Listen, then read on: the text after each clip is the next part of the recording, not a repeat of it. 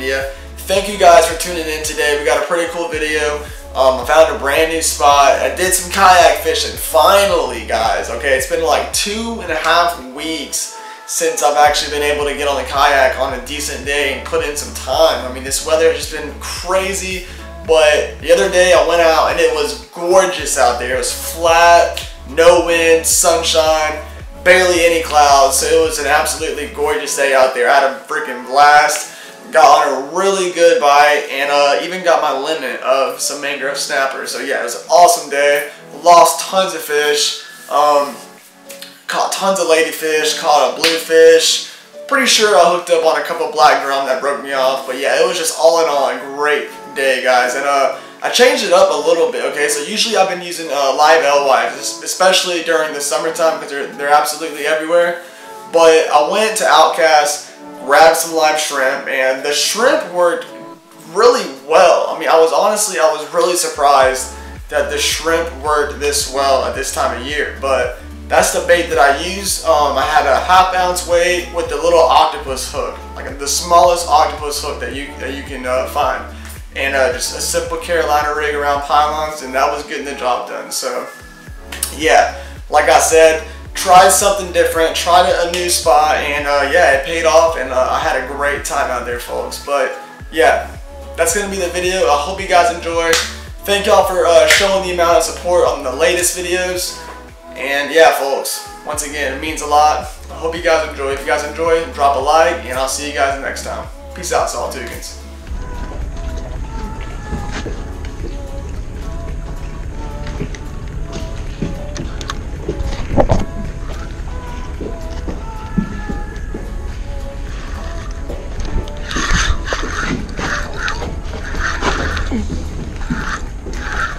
There he is. That's a keeper.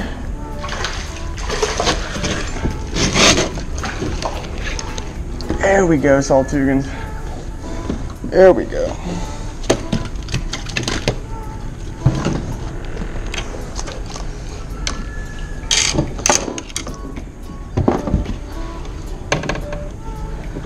That is how we do it.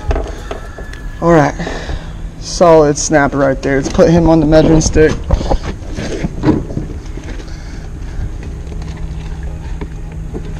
Oh yeah. 11 inches all day. Solid first fish. These guys are so freaking fun to catch. They are so smart too. And look at the colors on this guy. Beautiful. Alright. Probably gonna make a little stringer real quick and get him on there pulled a Saltoogan moment. Didn't even bring a cooler, but hey, got to do what got to do what you got to do, folks. It's pretty deep here too, folks. Probably about 30 feet deep or close to it. So as soon as I hook these guys, it's not really the easiest uh, getting them up without getting broke off. So I got gonna be dinner tonight, folks. It's gonna be dinner see if we can't catch a red or a speckled trout or even a flounder too. Alright, brand new leader going out folks. I got demolished by something last time, broke me off. There's a lot of structure down there. And that's exactly why there's a lot of mangrove snapper and there's probably a lot of other stuff too. Probably even some black drum maybe. Um, but yeah, shouldn't take long. The bite has been pretty uh, consistent. As you guys see, I'm getting bites right now. Just gotta wait for him to take it. Which he might have already. No, he didn't, but.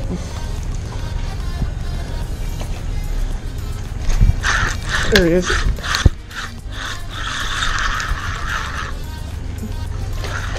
There we go. I think he might be a little short. Yeah, he's definitely going to be a little short.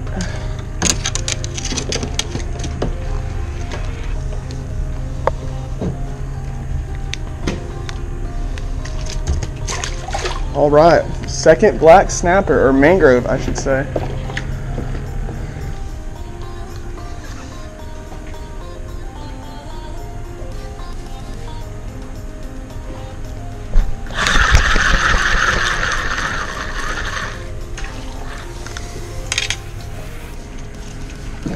That is a pinfish. Not the species we're after. Anytime you find mangrove snapper, you're gonna find pinfish. It's just unavoidable, folks.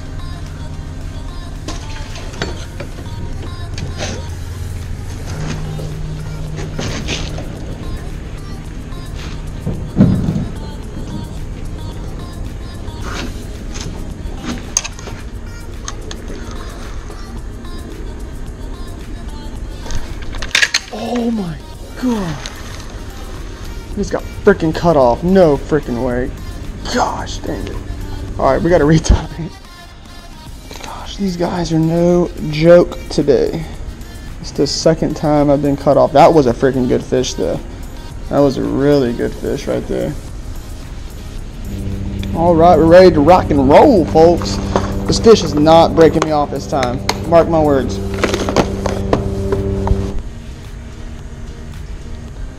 Sometimes with these snapper, you just gotta let them eat.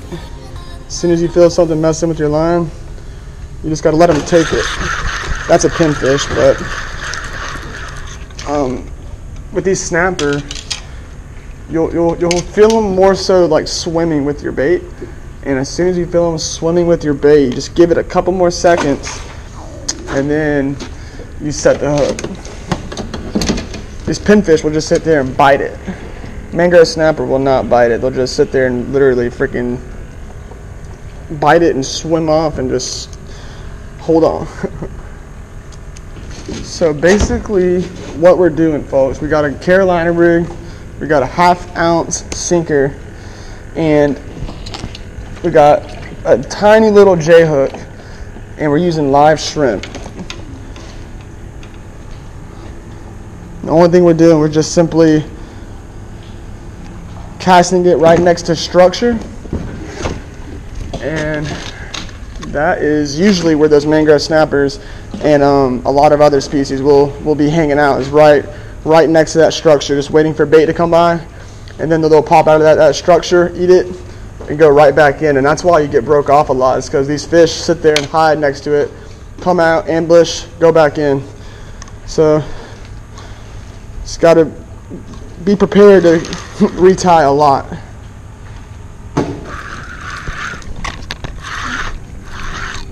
Oh, dang, I had one the whole time. Freaking bluefish. What in the world? That was weird.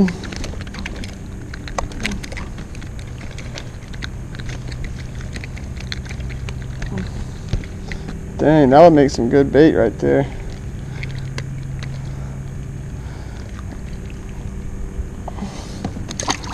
All right.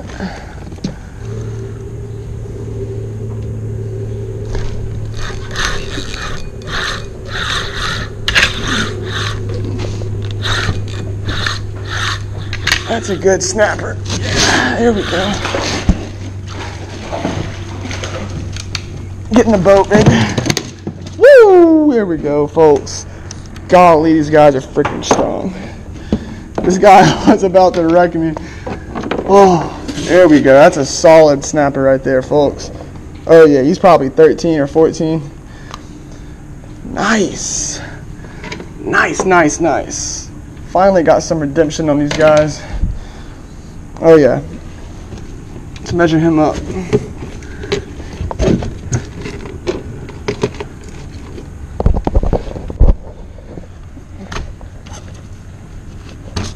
Yeah, he's probably like 12 or 13.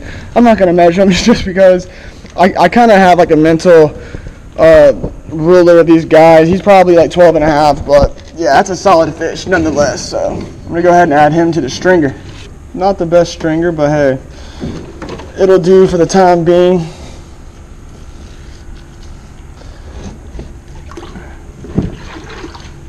All right, folks, let's catch some more fish. Why don't we? All right, two keepers. Let's go.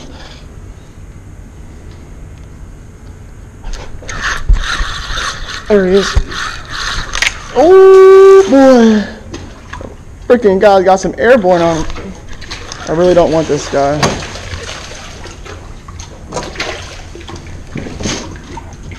Mm. Freaking ladyfish. This guy went airborne. Come here, buddy.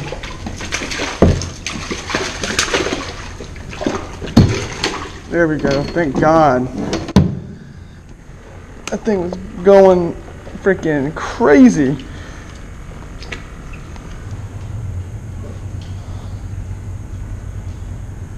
Uh, that's a good one. Ooh, there we go. That's another keeper. Oh yeah. Oh yeah. We eating mangies tonight, folks. We eating mangies. oh yeah, that's a good one.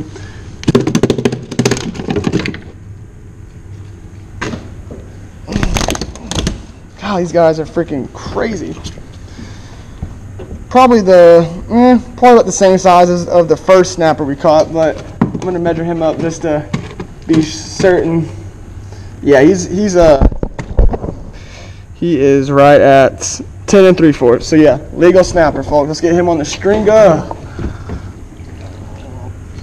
All right. So so far so good. We're almost at our limit of snapper. I mean, these guys are freaking biting anything and everything today.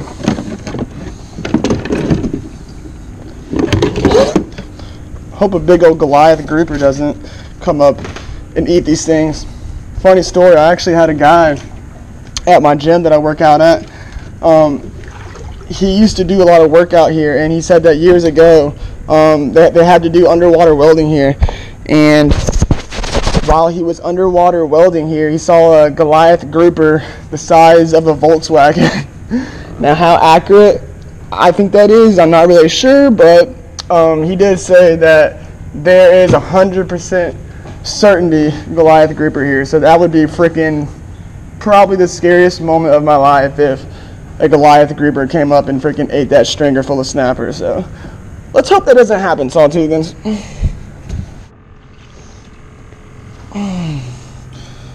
All right, folks, just retied for the third time today. Whew, these fish are no joke.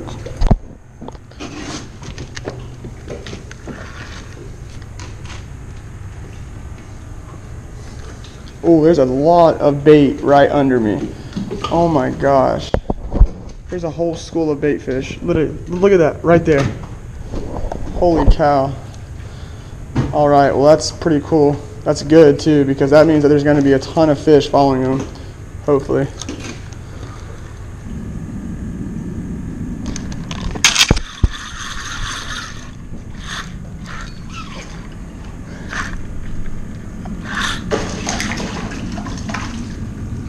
Gosh, that's a big pinfish. Look how fat this thing is. Holy crap. Dude, that is the fattest pinfish I have ever seen. Look at how, golly, that thing's like bigger than the snapper I've been catching. Look at that thing.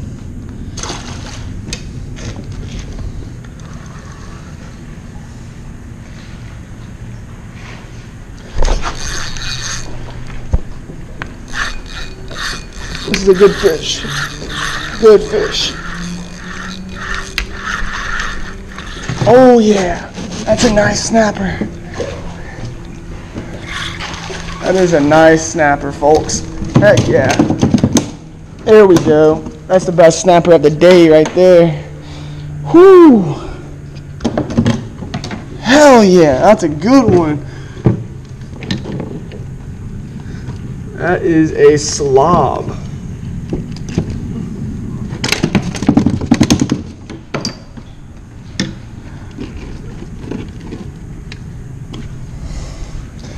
Oh yeah, folks.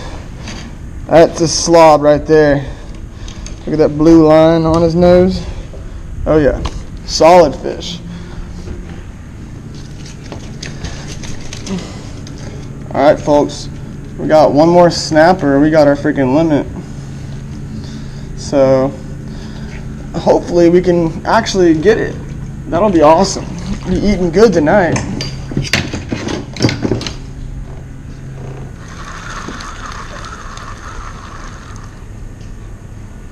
Oh my god. Is that a spe- oh, that was a speckled trout. That was a speckled trout. Are you kidding me? Thought it was a ladyfish. that was pretty cool. I was literally reeling my shrimp up and a freaking speckled trout ate it. That was cool. Uh oh. That's a good fish. Oh yeah, that's keeper number uh that's keeper number five. Maybe. He's gonna be close. I'll measure him up though.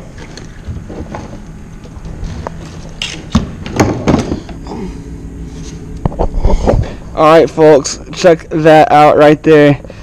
10 inches, a little bit over. That is our last snapper that we can keep. We got our freaking limit. Alright, I'm going to put this guy on the stringer. And I'm probably to tie on some lures and start chunking it around um, these pylons maybe. Because there's a lot of bait that's getting pushed under here. So hopefully we can catch something. All right, let's get this guy on the stringer.